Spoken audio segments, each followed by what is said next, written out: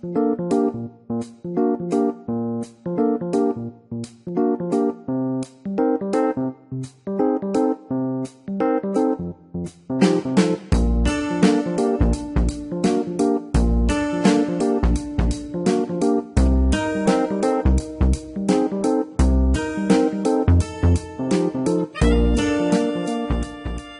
amantes de la cocina, gracias por elegir nuestro canal, Cocinamos los dos. Hoy vamos a hacer una receta que a mis hijos les encanta. Les encanta casi tanto como la película de Up. Vamos a hacer mousse de mango.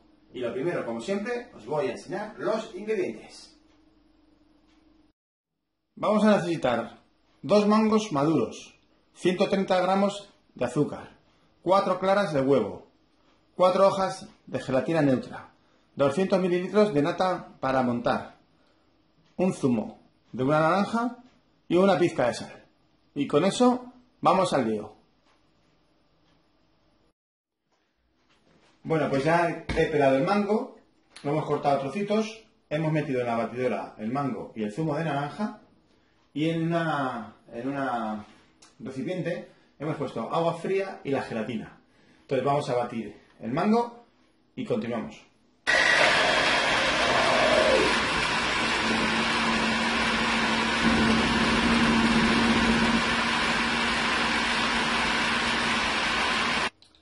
Ponemos la nata a calentar y echamos la mitad de azúcar.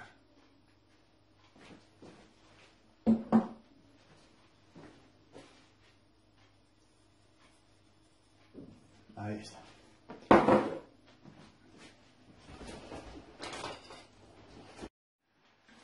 Una vez que está caliente la nata, echamos la, la gelatina escurrida y dejamos que disuelva.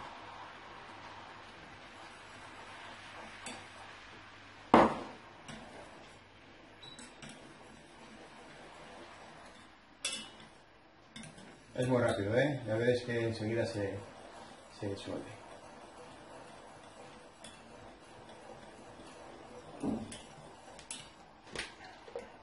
Cogemos el mango triturado y lo mezclamos todo.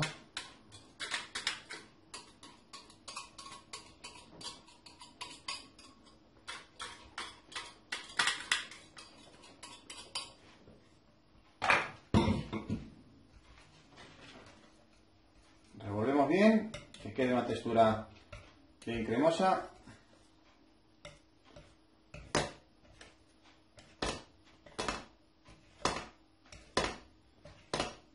Y ahora ya solo falta montar las claras de huevo.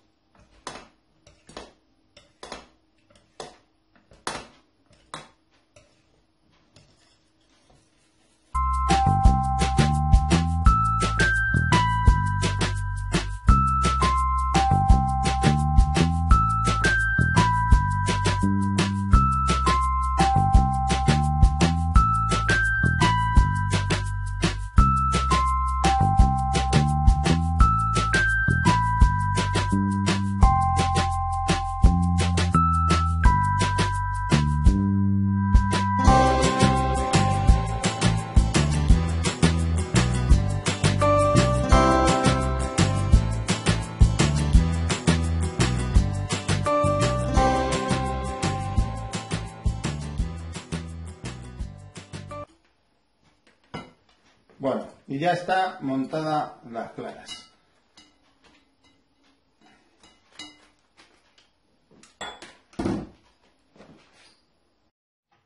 Por último, hay que unir la mezcla y mezclar con movimientos envolventes, ¿vale? Para que no se deshaga el punto de nieve. Vamos a ello.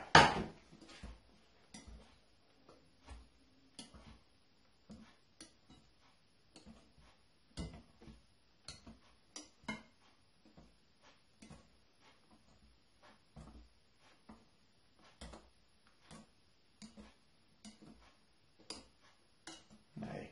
Poco a poco va cogiendo colorcito y se va mezclando todos los ingredientes. Bueno, pues con eso está el mousse hecho. Ahora tenemos, tenemos que coger un recipiente donde lo vamos a servir